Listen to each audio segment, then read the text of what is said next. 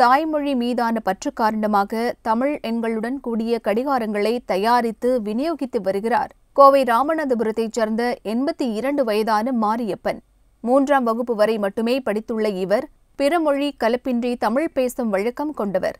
மற்றவர்களையும் அவ்வாறே பேசுவதற்கு ஊக்கப்படுத்துகிறார். தன் மொழிப்பற்றை வெளிப்படுத்தும் வகையில் தமிழ் எண்களுடன் கூடிய சுவர் கடிகாரங்களை தயாரித்து வருகிறார். மாரியப்பன் தயாரிக்கும் கடிகாரங்களில் எண்களுக்கு இணையான தமிழ் எழுத்துகள் இடம்பெற்றுள்ளன. கடிகாரத்தின் உதிரி பாகங்களை தனித்தனியாக வாங்கி வந்து தமிழ் கடிகாரங்களை உருவாக்குகிறார். தமிழ் மொழி அழிந்து வருகிறது. தமிழர்களே தமிழை மதிப்பதில்லை. எனவேதான் தமிழ் வளர்க்கும் நோக்கில் இந்த கடிகாரங்களை தயாரிப்பதாக அவர் கூறுகிறார்.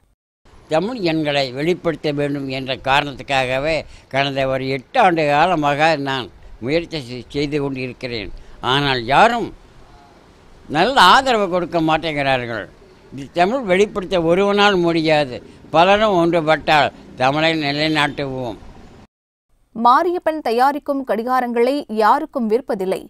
தமிழ் மீது பற்று கொண்டவர்களுக்கு அன்பளிப்பாக வழங்குகிறார். இதுவரை நூற்றுக்கும் மேற்பட்டவர்களுக்கு தமிழ் கடிகாரத்தை பரிசளித்துள்ளார். ஒவ்வொரு கடிகாரத்திலும் தமிழ் மொழி தொடர்பான கேள்வி இடம்பெற்றிருக்கும்.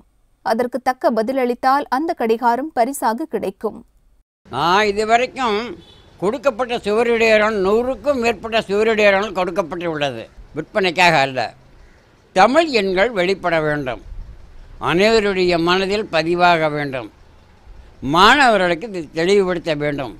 மாணவர்கள் மத்தியில் இந்த மனதில் பதிவு செய்ய வேண்டும். தள்ளாத வயதிலும் தமிழ் வளர்க்கும் இந்த முதியவரைப் போல நாமும் மொழி பங்காற்றினால் தமிழ் மொழிக்கு இனி நல்ல நேரம்தான். இது போல மேலும் பல செய்திகளோட அப்டேட்ஸுக்கு தினமலர் யூடியூப் சேனலை சப்ஸ்கிரைப் பண்ணுங்க. பக்கத்துல ஒரு பெல் பட்டன் இருக்கும். அதையும் கிளிங் அப்படின்னு பிரஸ் பண்ணிட்டு ஃபேஸ்புக் ட்விட்டர் இன்ஸ்டாகிராம் போன்ற சமூக வலைதளங்களையும் எங்களை ஃபாலோ பண்ணுங்க.